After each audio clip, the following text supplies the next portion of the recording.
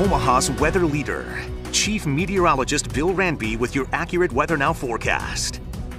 It is Randby Factor time. Coming up for the day on Monday, I give Monday a four. I debated it going three here, but uh, I think the snow will be done by morning. It's going to be cold, but we'll have a lot colder weather come winter time. Well, the winter weather impacts we've got to deal with one to three inches of snow for many locations in the Omaha and Lincoln areas. Winds out of the north, so that's kind of a low impact. Travel a little treacherous in outlying areas, especially right now north and west of Omaha, so a medium impact there. And it looks like because this won't be a heavy wet snow and not that much of it, and the winds aren't that strong, fairly low as far as the issue, uh, the uh, occurrence of power outages. Winter weather advisor for many parts of the viewing area. This is sort of an estimation of what we've had so far, dusting to an inch from downtown Omaha southward, inch or two northwest Omaha, up into Fremont, uh, two to five inches from the Norfolk area, West Point, over into Monona County around Onawa.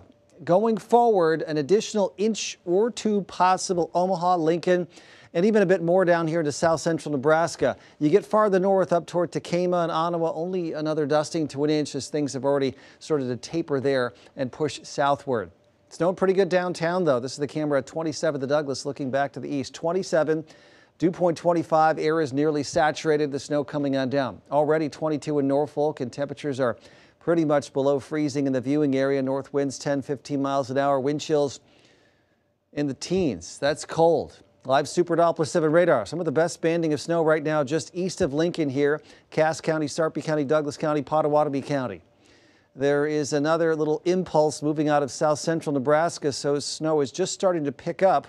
Southwest Nebraska, northwest Kansas. This will move across southern Nebraska and southeast Nebraska later on tonight. Here's storm predictor. Cold high pressure. There's that streak of snow. By morning, we're pretty much done, although cold air is in place. Clouds linger and some flurries for south parts of the viewing area. And cold high pressure lingers into Tuesday. Tuesday morning, extremely cold where it clears out with the fresh snow cover, though we should get some sunshine on Tuesday. Here's overnight on Storm Predictor. Here's this next batch after the current wave diminishes 4, 5, 5.30 in the morning, some snow. Then it tapers as we head toward the morning drive. Cold temperatures in the morning. During the morning, a lot of clouds, some flurries and light snow far southern parts of Nebraska. Temperatures barely warming at lunchtime and then for the afternoon stays kind of cloudy and temperatures barely warming again. We're talking about mid and upper 20s in the afternoon.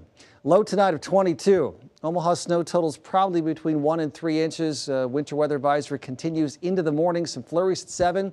Noontime, cloudy, cold. Afternoon, cloudy, cold. Not real windy but certainly impacts to travel in the morning. And record cold temperatures. Record cold temperatures on Tuesday, though we get some sun.